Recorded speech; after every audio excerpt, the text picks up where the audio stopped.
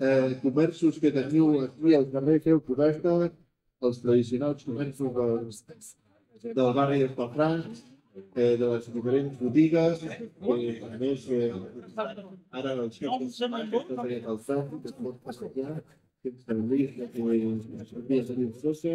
També teniu les marques de la recuperació i conservació d'autobusos. Enguany compleix el seu. Vint anys des de que va començar a preservar el seu primer autobús i tenen a la venda diferents eh, dutes, samarretes, eh, cartells de línia commemoratius de les diferents línies històriques de- d'autobusos. Com està en la pràcticament com el del cotxe, que amb el modelo Forte eh, que va ser la revolució en els Estats Units. Eh, es va, va, solidificar el la en línia de laboratoris de la possibilitat de, crear vehicles de transport. I en el cas d'Espanya I també no va trigar gaire, eh? ja a partir de, dels anys 10 eh, ja comencen a sortir els pensals de una, de la mà d'una empresa que es deia la Hispano. Era la Hispano-Suïssa perquè el capital era espanyol i el- era suïs. I també teniu la carpa d'entre que Que era el cerebro, el enginyer. O sea, pues, no, i alhora que dic, eh, convertir-vos en un Macha, que va acabar y no a fabricamos todos los aviones para la, para la Primera Guerra Mundial. ¿Eh? Eh, Suiza era, a la prova de Montcada. tenía un interés eh,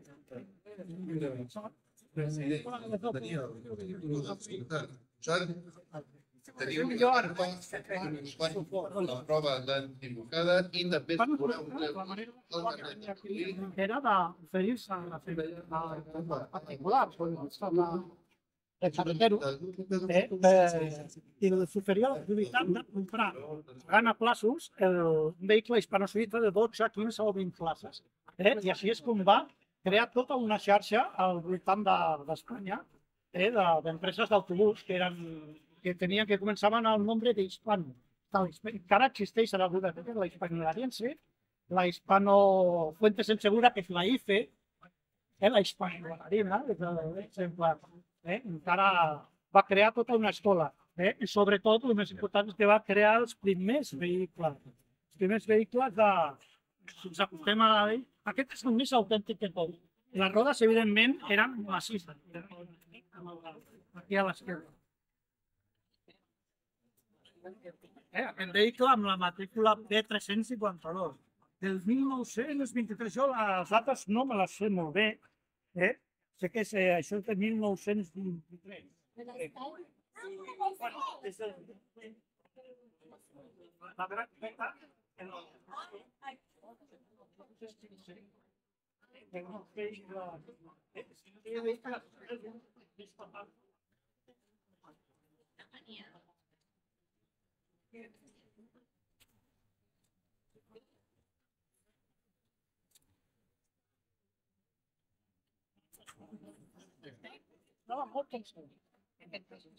no hi ha vehicle, és fatal.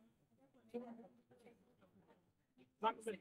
Eh, evidentment, la tecnologia de material, la tecnologia havia de millorar molt. I a poc a poc, tot això ho veurem veient, com veiem amb la mateixa, pràcticament amb la mateixa cilindrada, aconsegueix millors consums, vehicles molt més grans i molt més potents. Eh, passem al vehicle a l'esquerra, que ja el de les empreses, de l'empresa que va haver-hi eh, la primera companyia d'autobús de Barcelona.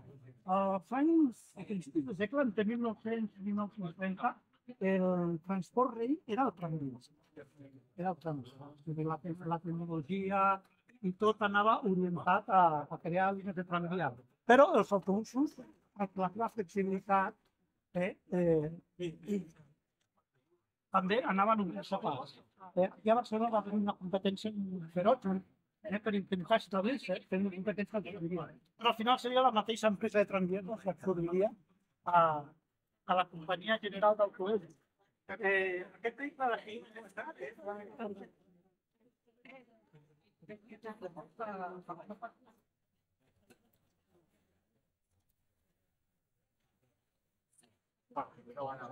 No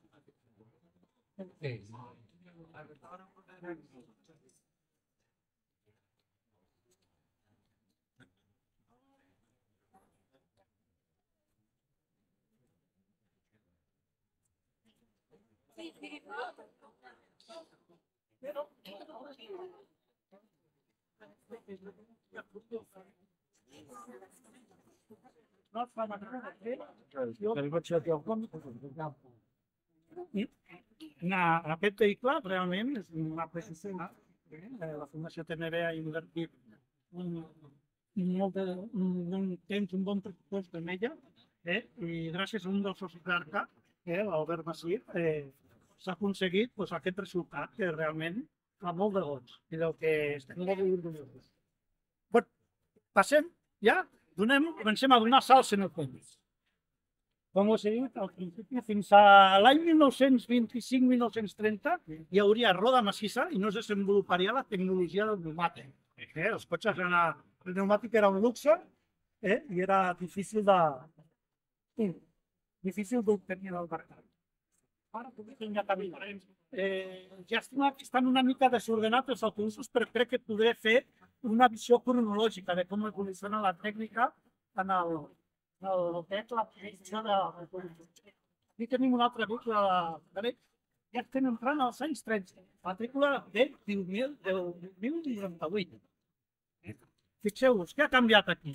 Ha canviat. Tenim un motor que també encara té 4 litros i dona com a molt 40 cavalls. Hem millorat una mica de cavallatge. Eh? Les rodes inicialment eren macisses. Aquest cotxe tenia rodes macisses d'origen, canviades eh? per una de pneumàtic eh, fixeu-vos en les estructures de fusta. Ja en la carrosseria, que en el principi dels temps era una carrosseria de, de carrossa, de cavalls, ara ja adopta formes més utilitzades, estilitzades, ja té una tècnica, ja hi ha combats a la, a la xapa, hi ha una continuïtat a la caixa. O sigui, hem evolucionat tècnicament en el que és el tractament dels materials. Eh? I segueixen uns pans. Seguim ara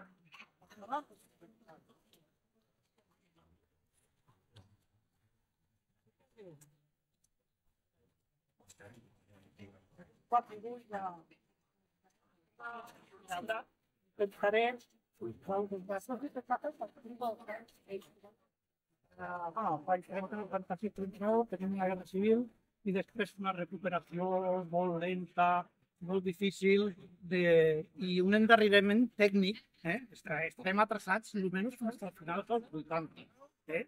Amb el fil de Pegaso i la entrada de la europea i de les marques, eh? ara pues, ens ficarem a l'altura. S'està oferint en Europa des de l'any 68. Eh? Amb, amb,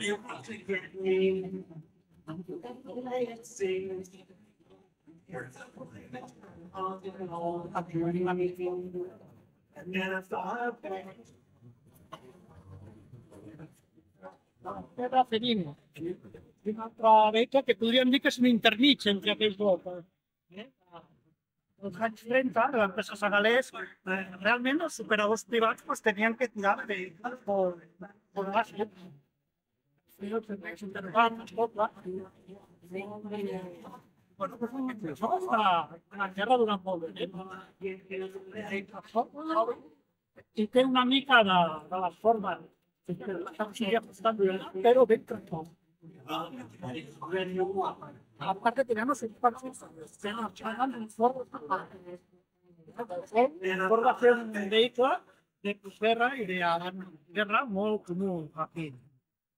Eh, no només és que no l'haig construït, eh? tenia moltes Amb una més que dilatada experiència en el sector de vehicles industrials i de passatgers, Ecocentro tenen com a objectiu satisfer les necessitats dels clients d'aquest tipus de vehicles donant un servei integral. Com a concessionari Iveco, garanteix que els seus tallers s'utilitzen recanvis originals. Cocentro ofereix avui el que per altres serà el servei del futur. Si necessiteu major informació, entreu al web www.cocentro.com. Passant la guerra, eh, era Lliga i Lliga. La se va fer que recórrer a la importació d'altres països. Eh, la terra va venir casos la Fábrica carrossari. Industrials, concessionari oficial de Mercedes-Benz a Catalunya. Disposa d'un ampli catàleg de vehicles de llarga distància, construcció i distribució, a més de furgonetes i vehicles camper. Els seus vehicles es troben en perfecte estat, amb quilometratge certificat, preparats per començar a rodar. A més a més de la garantia que ofereix una marca premium com Mercedes-Benz. Més informació a www.mercedesocasion.com una de les vistes, principals als carrers de Barcelona. Eh, S'organitza la casa AFRI, Textil, van establir Encara no coneixes de... Fa més de 25 anys que som El nom de especialitzat en la distribució de gasoil agrícola, de calefacció i d'automoció. El nostre compromís és l'excel·lència del servei i la qualitat del producte. Petroli subministra en 24 hores a tot Catalunya. Són Què esperes? Més informació a www.petrolis.es.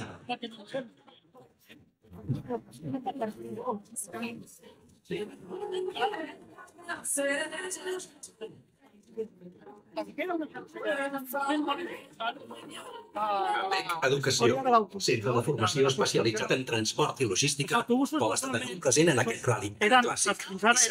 I futurs conductors i conductores, millorant les capacitats dels professionals actuals. Teva carrosseria. educació. Eh?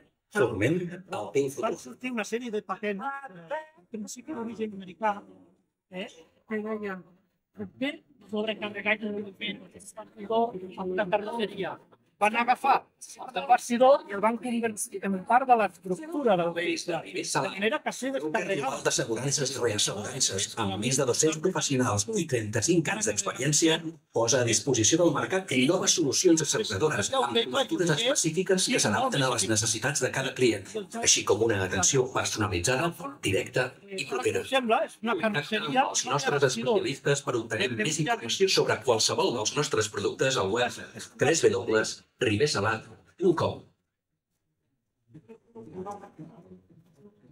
Sí, davant, bon, podeu veure, ja veieu que abans en els anys 30 i els anys 40 les carrosseries ja ofereixen més elegància als clients. Les formes de Desenvolupem teixits de la que aerodinàmic. Ai, Hi ha vida real. Portem de natura d'ells.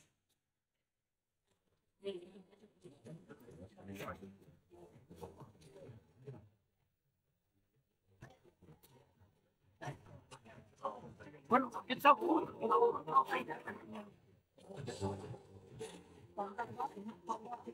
Que se'n diu el sistema francès, que el cobrador estava a la part del darrere assegut, assegut i còmodament, plorava el passatger, el seu bitllet, i els passatgers sortien pel davant. Havia una circulació fins ara ha tingut el cobrador i generant tant els adults com els tramvia, que, que era realment. Va fer una gran millora per buits i els passatgers i per i sí, vamos. Quan, ara, quan podem parlar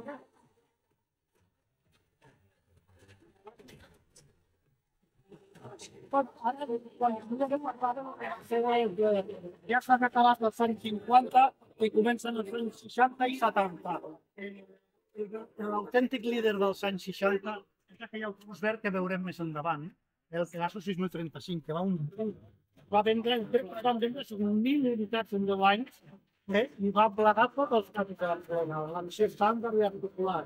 Eh? Quan arribem allà, perquè mereix, que és essencial, va ser l'estrella, el nit de classe, eh? durant més de 10 anys. I aquí a Barcelona era, era l'autobús de tot el dia, era l'únic autobús.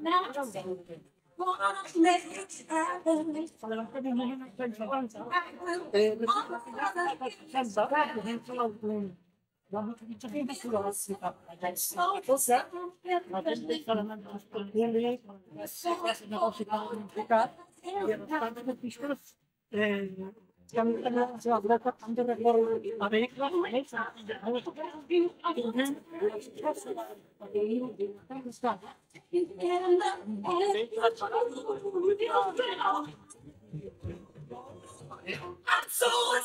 que ja als 60 comença l'autobús. La motorització de Sud-àfrica. Cosa, la gent té elements de transport públic, és un negoci tan complicat, i en els tantes artistes, eh, que la la la però també directes a. Aquí tenim dos exemples, els dos són Pegasus. Pegasus la marca, és una marca líder entre 1940, especialment, que també va ser la marca favorida per a NASA. Els autobusos es feien tots aquí a Barcelona. O sigui, la, eh, el govern espanyol va decidir que la producció de cotxes que feia, que havia tot a Madrid i tal, i els camions també se'ls va apropiar i els classes d'autobús de tota Espanya es construïen allà a la factoria Pegaso de Meridiano. I allà sortien carregats per comprar. Eh? Se van sortir milers i milers d'autobusos i autocars. Una mega factoria, allà tot, i és realment era impressionant. Bueno, anem desfilant als anys 70, comencen els anys 80, veie, si veiem, perdoneu que m'hagi passat allà als anys 80, comencen a aquests vehicles que, si us fixeu, és un recarregat, un restyling, ja porta vida als costats. Eh, eh, ja comencen a oferir una mica més de calidats. Allà ja han passat els temps més difícils i comença a venir ja recursos altres. I comença a pensar, a pensar en la gent, a pensar per anar una mica a aquesta família de la gent que s'anava. A veure, jo recordo anar en autobús eh, als anys 70 era un ciclístic, era un ciclístic. Ah, realment anàvem fent, agrementat, que anava apretat, eh, entenc que molta gent hagi d'acceptar però a partir dels 80, amb els, amb els problemes i, i amb la nova mentalitat, i també amb la nova entrada de recursos, que la propietat també, eh? i aleshores va organitzant el sistema de la seguretat social, el, el, els, els pressupostos que permeten que es pugui subvencionar el transport públic, encara que sigui necessari, i donar servei a tothom, no només al que, no només al que. Eh, en aquest estat de coses, pues, eh, comencen a oferir-se nous vehicles o nous, noves línies, però tot encara està una mica, una mica empagnat. Eh? I els eh, models, cap al 1984, el model, aquell model que veurem allà, el model estrella, eh, va de Pegaso, que és el 95, va evolucionar. Apa, si el veieu des d'aquí, Sí, any els dic que vaig sobreviure, però no que va per una altra banda. Bueno, pues a l'esquerra teniu el que vam tenir entre 1981 i 1986, va ser un restyling de, del model Estrella PH35 que no que li vas a fer-la, però i el porteu, la veritat, és l'empat entre que ens dos ulls, sobretot, sobretot per l'accés, que aquí tenim esglaons que segons com tenia la suspensió eh, eren insalvables, i tenia, te'n recorda algun de era una protesta en general, la, de la gent, les queixes principals anaven per aquí ara. Eh? Anaven de, de accessos autobusos no era bo, hi havia uns esglaons. Aquí teníem un altre, que és el mateix model, però ja amb canvi automàtic. Estem parlant de l'any 84, però seguim tenint dos esglaons d'accés i un terra que està més ni que a 60 centímetres del sol, del terra. Eh? Eren ja, són molt efectives. Ja, eh? les infraestructures són importants, gràcies a l'arquitectura que aconsegueix un vehicle més llarg, més capaç i amb un consens eh, i amb un consens similar a un altre més passant. I ja acostem, acostem a l'estrella, la colla de la corona, que avui li han trencat la regulació, la pop. A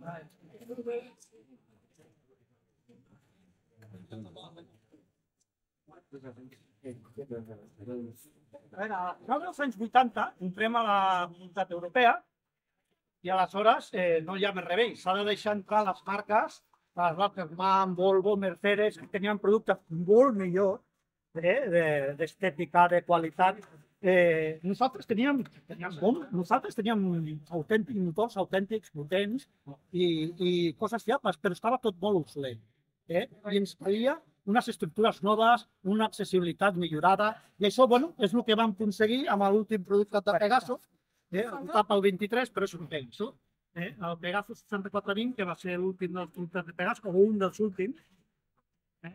amb el qual ja aconseguim normes europees, les normes de la Perkers Omnibus de Punt, eh? i ja vam posar una sèrie de normes i directrius que van seguir els constructors europeus eh, a l'any 1968 i aquí arriben a l'any 1987, eh, amb una mica de retard. I va ser, eh, aquí amb això començaven a sortir ja una mica de, de, de l'atràs. Ah, veu, ja ha canviat molt l'accessibilitat. Ha canviat molt. Ara, fan una mica de darrere, respectant una sèrie de dimensions, eh? doncs aleshores canvia. De fet, el prototipus és aquest. Aquest és el mateix, però aquí tenim eh, el que era, era eh, el prototipus era eh, una carrosseria eh, de patent de mano. Us, eh, aquest vehicle potser us sona més com estranger. No? no eh, el que és estranger és l'estructura externa. Però dins té un motor de 96 a Z eh, de 10.000 centímetres cúbics en penes. No? Realment fiable. Sí. Ara arribem a la però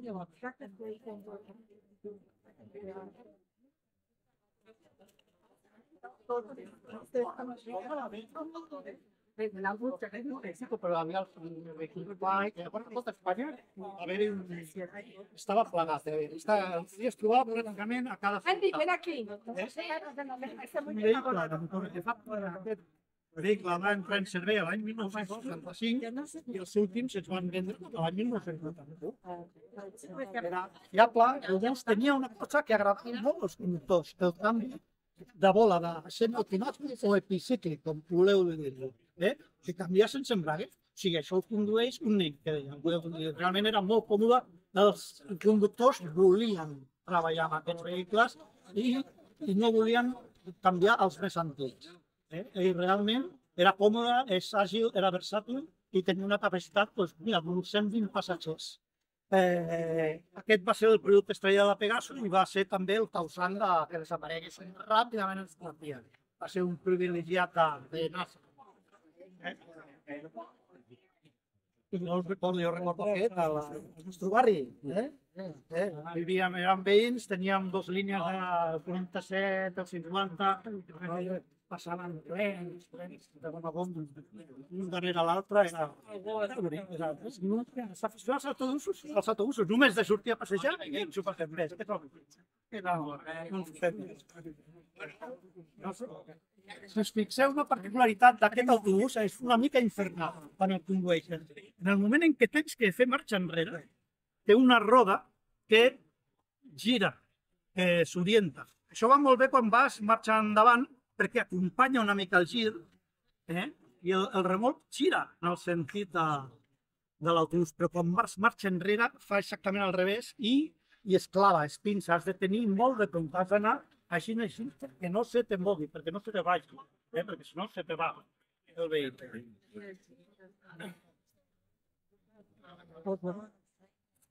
Veient això, vinga, ara pues ja fem un salto enorme al futur, eh? amb tot el que ha evolucionat ara. Eh, tenim aquí, eh, aquest vingut avui, no sabia que l'havien restaurat, tu ho sabies? Eh? És el, el bus de barri, el que era una, una Mercedes Sprinter. Eh? Els busos de barri és un producte de, de donar servei de proximitat a dins dels barris que va sorgir a, cap a final dels anys 90. 90, bueno, hem, quina matrícula? Molt bé, 97-98.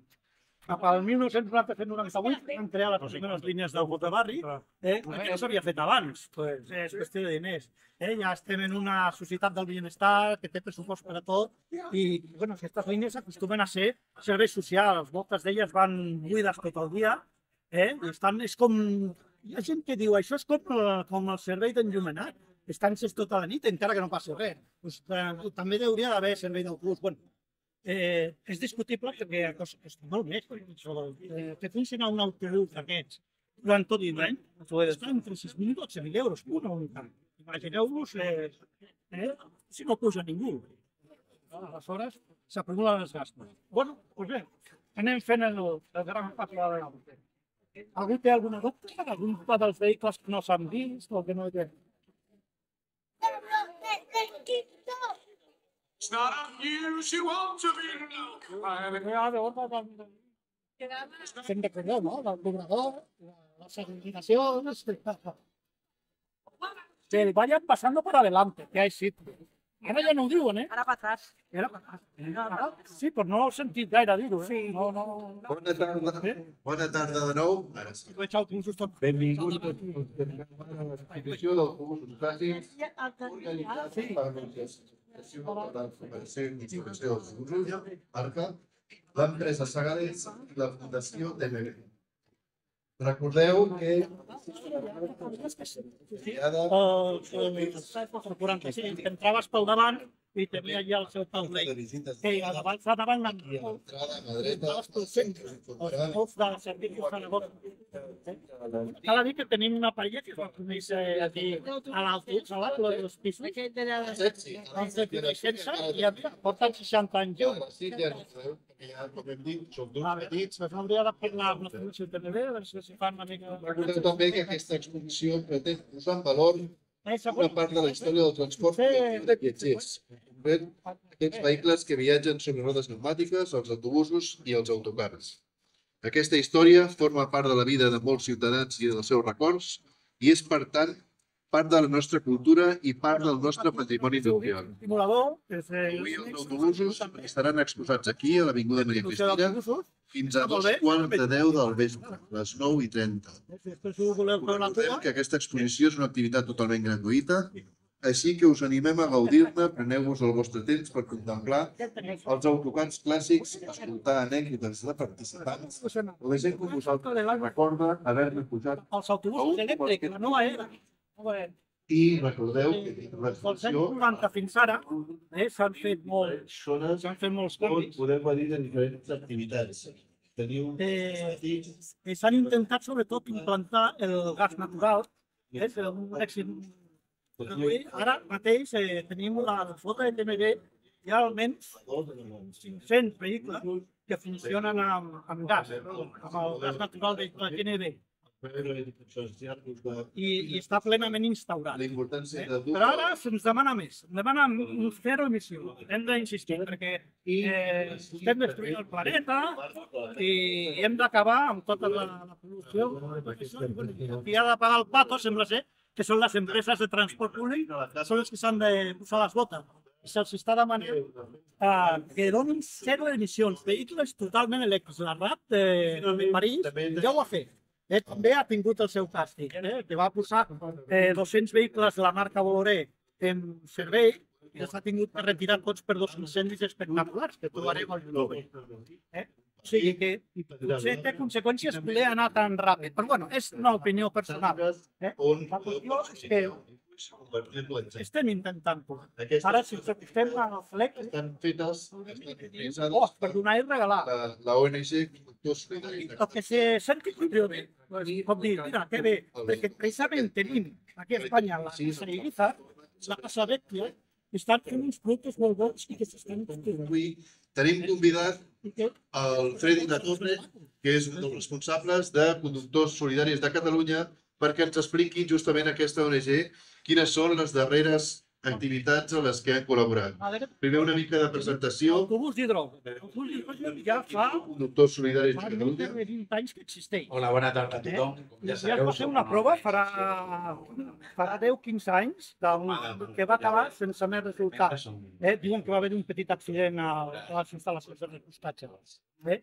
Però els defensors de, de la pila d'hidrogen eh, diuen que aquest sistema és un motor de combustió, és, el combustible, el que canvia que s'ha de fer en unes instal·lacions que costen diners.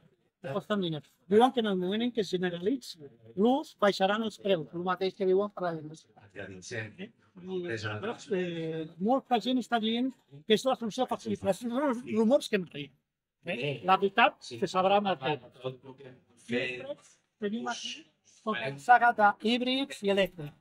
Eh, el problema de l'electricitat, que jo crec que està solucionat, el trolebús, sembla ser que és lleig, els cables del trolebús. Eh, una veritat és que no s'han solucionat, que encara no existeixen bateries eh, capaces d'aguantar el tute que, que, que cal carregat durant eh, 16 hores almenys. I amb una fiabilitat, i amb un celurin 7 o 8 anys. Eh? Eh, sembla ser que hi ha una casa de, de cotxes Tesla que assegura que és això, però bueno, està en polèmica. Eh, el que han trobat els constructors és una solució enginyosa, és a dir, les bateries pesen un colló i que afecten molt a, a l'autonomia del vehicle. Eh? El que farem és substituir les cadenes més petites i posar teles amb supercapacitors que en 5 minuts a la terminal em carregaran la bateria una altra vegada al 75%. Eh? Aquesta és una solució que està sent àmpliament utilitzada, la línia H16, la B15, i hi ha, dos o tres línies que el fan. Però els troles que tenen aquí, quan arriben al terminal, pugen i en menys de 5 minuts han carregat la bateria una altra vegada. I després, a cotxeres, en 3-4 hores, o a vegades ja venen carregats, eh, acaben d'omplir. Eh? D'aquesta manera, fem un vehicle molt menys pesant, perquè té les bateries més petites, que té una autonomia més alta i, i a més a més és més barat. L'únic que, el problema que, que sen, he sentit a dir que s'han trobat és a instal·lar punts de càrrega, eh? que no sempre és factible ni sempre és simpàtic als vehicles. Eh, Tenim l'híbrid. L'híbrid és l'altra solució. És una altra solució que han trobat. Un motor eh, que en el cas, és, l'híbrid dels autobusos no és com els cotxes. En el Toyota Prius, per exemple, un moment funciona elèctric, un altre moment funciona el motor de combustió. Eh, no, aquí no, aquí hi ha un motor eh, que se posa en marxa per carregar el motor elèctric, que és el que realment tira del vehicle. Una, tracció en línia. Tenim aquí a les portes d'Europa, és un desastre que es va a tot el... Molts flexibles. Que, eh, crec que fan un molta necessitat de, de solidaritat. que la gent els vegi, però bueno, que, que se sent venir, eh? una mole se sent venir perquè quan va flotar. Sobretot a nivell logístic, que allà A la dreta de tot tenim el, especialitzats, eh, que funciona com híbrid. Eh, aquests últims anys ha hagut, una, hi ha hagut un tropillo eh, que és, per poder guanyar concursos les empreses compraven uns vehicles que els mateixos constructors s'han apuntat al carro, eh, que tenen un motor elèctric molt petit i que realment no estalviaven gaire cosa en el, en el consum. I aleshores, eh, pues, eh, teníem uns vehicles que sí, que estalviaven poc, eh, contaminaven quasi com un dièsel. Eh? I aleshores, pues, clar, van a sortir i han dit, vaig a fer un híbrid de veritat, un efficient híbrid. Eh, si ho veieu en els logos, eh, eh, s'autoconsideren com un híbrid de veritat, eh, en què funciona més o menys un 30, 60, 70% del temps. El, el elèctric, Ja estaven participant les llançadores. I bueno, ja passem als elèctrics. El segon de l'esquerra és un, un vehicle BID xinès. Mira, Dius, sembla una cosa estranya, un vehicle estrany. Per el que tinc entès, a Xina eh, els vehicles elèctrics, com el BID, estan àmpliament estesos a les principals ciutats. Ara, És un constructor, és com va ser aquí la Pegaso, a la Xina és BID. Eh? És, una, és un constructor fiable, bo i d'un bon producte. Eh? I m'han dit que les bateries, eh, que normalment són de ion litio, eh, en, en tots els vehicles, eh, són de, són d'origen italià. aquesta, aquest servei. O sigui, eh, com podeu veure, en la construcció d'autobusos ja s'ha globalitzat tot, ja no hi ha cases. 24, perdó. El vehicle xinès amb el seu trole per encarregar la terminal i a l'esquerra el producte espanyol, Utilizar. Utilizar ha agafat les patents de les bateries d'ion litio i ha passat de ser un xarrossador d'autobusos a un constructor amb èxit i realment n'ha vengut eh, centenars, no només a Espanya, sinó a l'estranger, se'ls veu circular. Tenen aquesta forma que intenta recordar els tramvies, que tan de moda estan en altres latituds. A l'esquerra, Solaris, el producte Solaris, un producte originalment txec, ara mateix, no sé a qui pertanyerà, em sembla que és del grup Volvo. Eh? Tot està globalitzat, en realitat ara ja no hi ha res. Eh, Solaris pues, té també un producte que per lo que he estat veient eh, és una mica més passant i sembla que és una mica menys potent. Eh? Però Más aquesta 24, perdó. Circulació diària i de moment no dona problemes. Aquest sí que m'ha donat problemes a mi com a passatger. Ens va deixar tirat una vegada per culpa de la condició una mica salvatge, no es pot anar trepitjant a... Aquest em va deixar tirat al carrer Trafalgar. Aquest autobús eh, està fent la seva I bueno, funció, diguéssim, de ferit. els turístics que fins ara no tenien el seu versió híbrida, ara el tenen de la mà d'Umbi, que és un altre carrosser espanyol que està agafant, eh, que està agafant eh, bases xassis de la casa Volvo, híbrids, i eh, s'està convertint en vehicles de servei turístic, un servei que ha aparegut amb tot el boom turístic de, que va sortir a partir de l'any 92. Molt bé, doncs moltes gràcies per, explicar. Bueno, pues això ha estat tot. Si teniu algun dubte, eh, espero que hagi estat també o entretingut. Eh, si teniu algun dubte sobre la... els vehicles, Perdona? Si algú té Sí, dubtes... també, és veritat, que haurien d'anar cap allà a entregar, no? Esto también, señor, esto también. Sí. Ah, bueno, yo creo que no, yo creo que los... Dos, un seria el primer, que no hi hagi catàstrofes al món, de guerres, i el Ja segon, finalizado. que és de